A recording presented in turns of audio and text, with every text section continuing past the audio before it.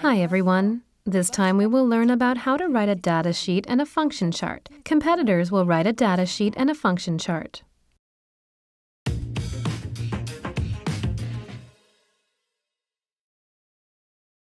Let us have a look at the key points of this task.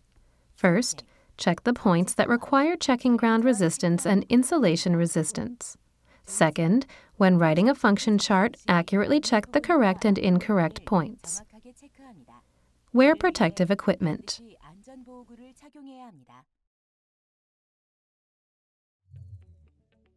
Please double-check preparations in detail and tools to perform the task.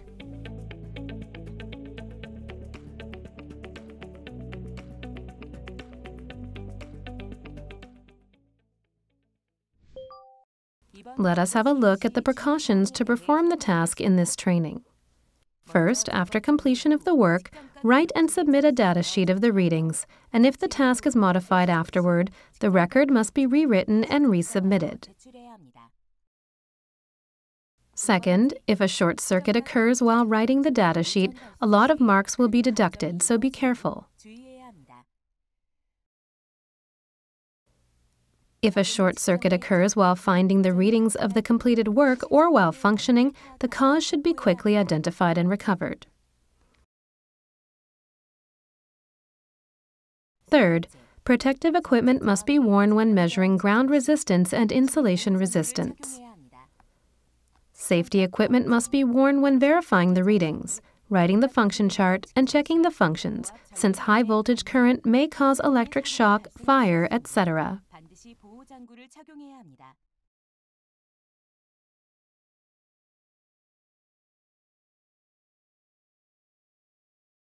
Fourth, note when writing the function chart that if the function chart is different from the actual functions, marks will be deducted. Incorrect requirements must be clearly marked as incorrect. Even though there is only one incorrect point in the function chart, the whole mark for the function chart will be zero.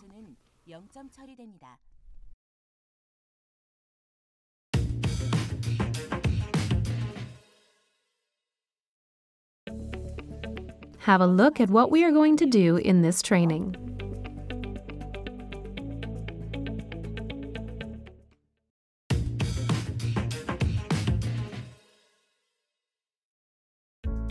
Ground and insulation resistance should be measured using a multimeter. A multimeter consists of several functions to measure various current values, such as ground resistance, insulation resistance, voltage, etc., and the function is selected by turning the dial. A multimeter mainly consists of a power button, a brightness control button, a test button, a function button to select options according to the current value, and a screen that displays readings. Voltage can be measured up to 50 or 1000 volts depending on the model. Backside consists of a power connection and test probes. How to use a multimeter is as follows. Connect the test probes to the back of the multimeter.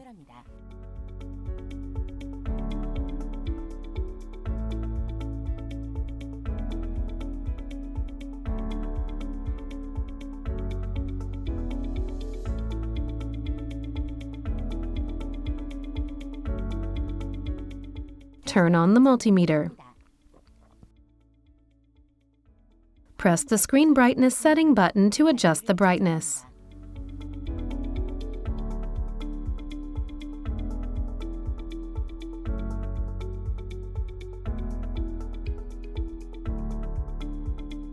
To measure ground resistance, adjust the dial to continuity. Measure the ground resistance by touching the end of a test probe with the end of the other one.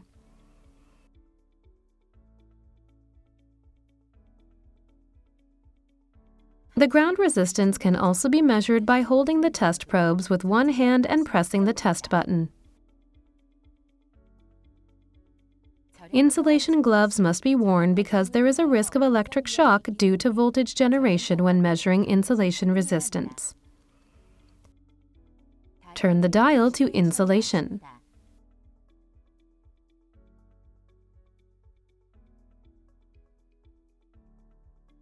500 voltage is applied.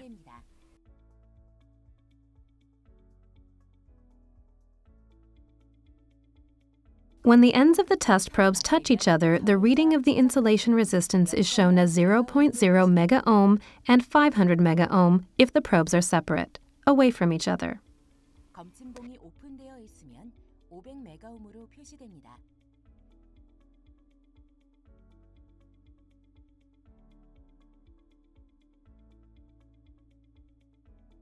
Insulation gloves must be worn since the voltage flows. The voltage can be set by pressing the F4 button. Depending on the situation, it can be set to 1000 volts, 50 volts, 100 volts, 250 volts, and 500 volts. Generally, 500 volts is set.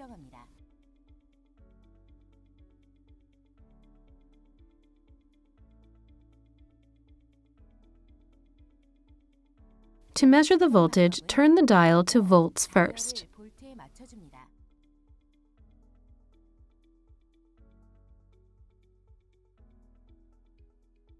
Power on the terminal to be measured on the test purpose power strip.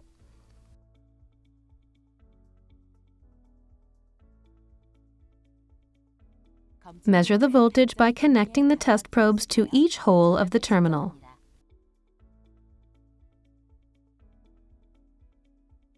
Check whether 220 volts is measured.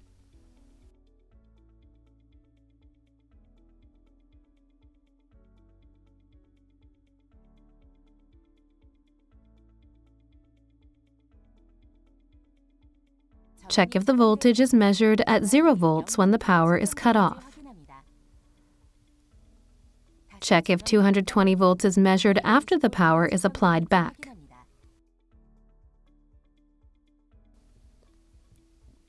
When all measurements are completed, turn off the power of the multimeter and remove the test probes from the multimeter.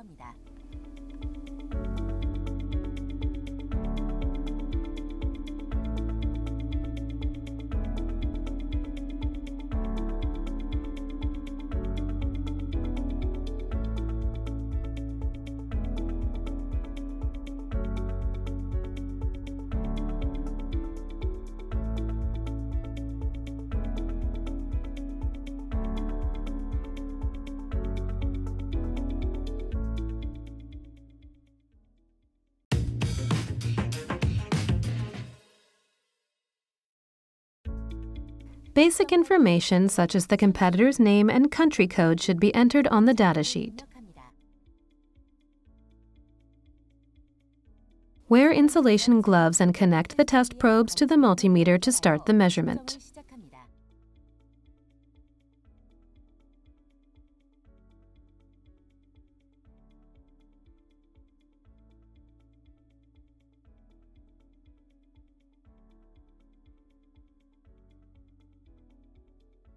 Measure the resistance of the outlet socket and outlet box.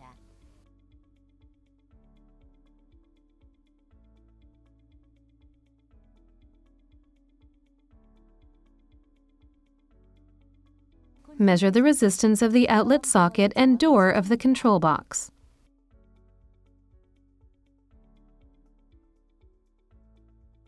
Measure the resistance of the outlet socket and mesh cable tray. Measure the resistance of the control box's PLC set power supply and terminal blocks.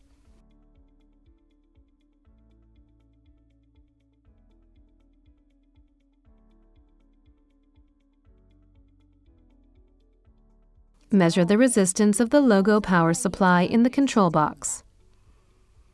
Measure the resistance of the terminal blocks and outlet socket of the distribution board.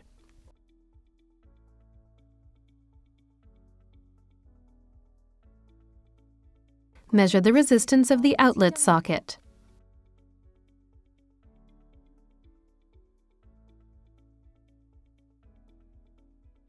Measure the resistance of the terminal blocks of the distribution board. Measure the resistance of the terminal blocks of the control box and the distribution board.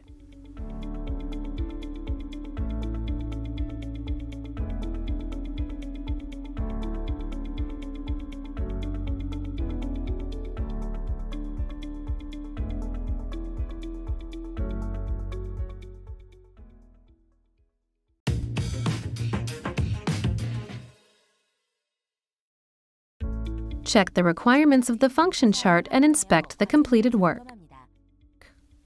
Check the function of the breakers of the distribution board. Check the function of the control box.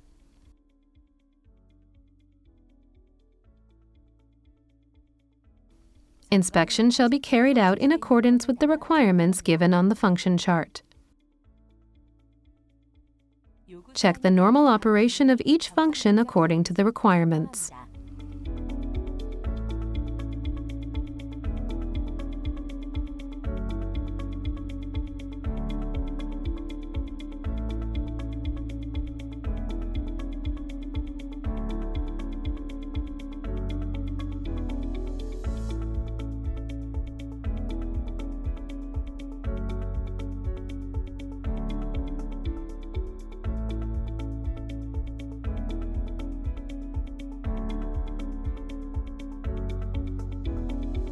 Check the function of the distribution board. Operate each switch on the distribution board to check the operation of the lamps.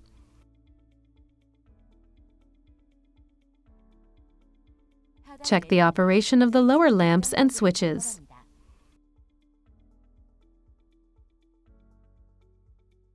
Check the operation of each function according to the requirements of the function chart and record it on the function chart.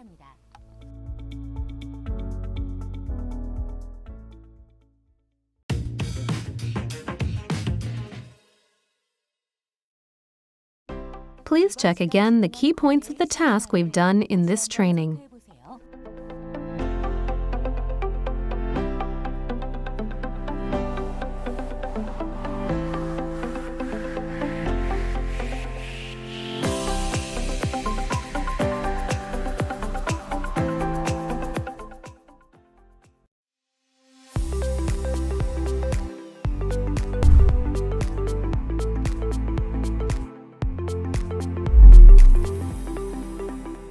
So, we have learned about how to check a datasheet and how to write a function chart in this training.